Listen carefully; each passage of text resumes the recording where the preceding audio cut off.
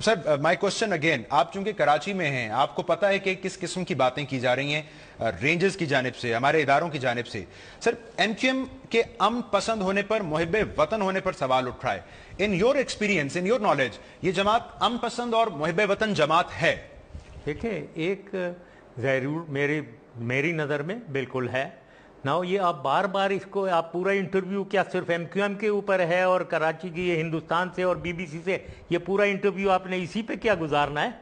ये भाई देखे एम क्यू एम ने गवर्नेंस किया है, अच्छी गवर्नेंस किया है। मेरा ताल्लुक ये था एज ए लीडर कि गवर्नेंस में करवाऊँ, सही गवर्नेंस हो, तरक्याती मंसूबे लगे और आवाम की खुशहाली हो, जो भी वो कर रहा है, वो अच्छा कर रहा है। कोई भी अगर कोई मिलाप कर रहा है तो कराची में कोई प्रॉब्लम नहीं था उस वक्त।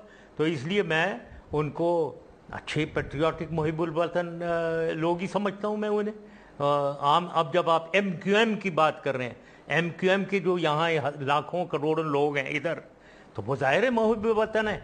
वो तो हिंदुस्तान में अपने घर पर छोड़ छाड़ के सारे इधर आए हैं तो पाकिस्तान से तो उनकी मोहब्बत है ही। इसमें क्या शक है? ठीक है, सर, मैं अगेन ये एम क्यू एम से ज़्यादा, सर, मेरे नज़दीक कराची और पाकिस्तान का मसला है। सर हमारे अपने इदारे जिस किस्म की प्रेस रिलीजेस जारी कर रहे हैं बैन अवी क्रेडिबल इदारे जिस किस्म की बात कर रहे हैं मेरा तो कंसर्न वो है। इसलिए मैं सवाल उठा रहा हूँ। सर ये जो बातें हो रही हैं ये आपको कंसर्न नहीं कर रही हैं?